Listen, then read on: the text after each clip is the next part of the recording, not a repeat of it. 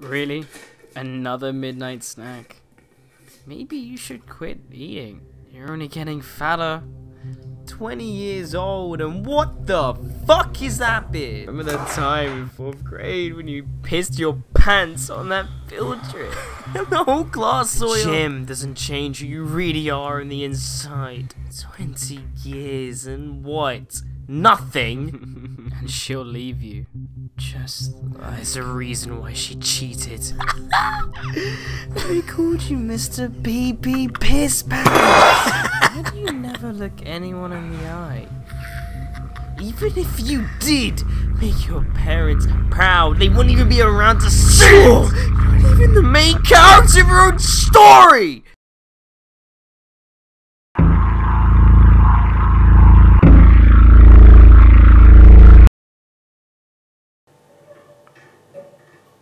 You're right, mate.